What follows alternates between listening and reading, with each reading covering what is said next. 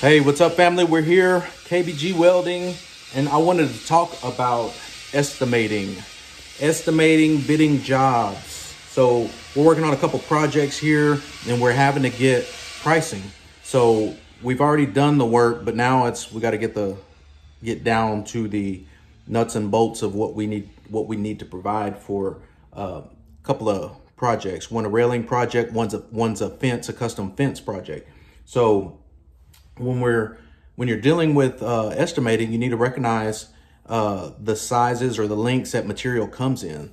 The fence that we're going to be working on, we're going to initiate today. the uh, size is one by two. Our most of the material is one by two. Now, a little side note on that, on the one by two, I need you to understand that the the gauge of the material matters a lot because if you just go with the lightest available, which is going to be the cheapest available, you're going to get some, you're going to get some sags. You're going to get some, you know, some, uh, some dips in there. And you don't want that. You don't really want that. It's, it's going to be visible. So, uh, you need to make sure for whatever you're doing, whatever application you're using, you need to make sure you're using the correct thickness or a proper thickness so that it doesn't waver. You don't get, uh, get any waves um, in the finished product. So, uh, and then there's some other things that we can get into as far as the the build, but we'll do that when we're actually putting it up. We can uh, we'll talk about that. So,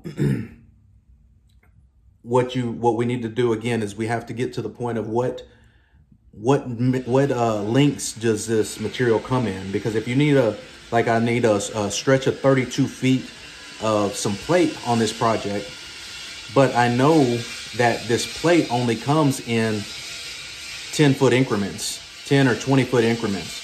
So I have to charge them for that extra eight foot in order to cover my costs. I can't charge them for just the 32 because that's not something that we have on hand. Otherwise, I'm going to have to eat that cost. Now, will we be able to use it? More than likely, but we don't want to have to pay for that you know, laying around for a little bit, or if they want it, they can have it. So, uh, so those are things that we want to do because some tube, most tubing comes in 12s and 24s. Uh, if you get the longer lengths, you can get 48s, you can get 40s, you can get, uh, so they, they come in variations. Um, if you're getting it from a local shop, you're going to get it in 12s and 24s. When it comes to the tubing, some places I believe offer a 20 foot version.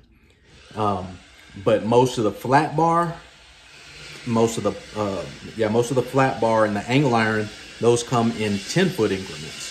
So uh, 10 foot and uh, 20 foot so knowing that and trying to lay that out when you're when you're uh, you're planning your layout you're planning your build and you're getting your material list together is uh, is pretty key to keep your keep your costs down because you want to be as efficient as you can um, because it's competitive.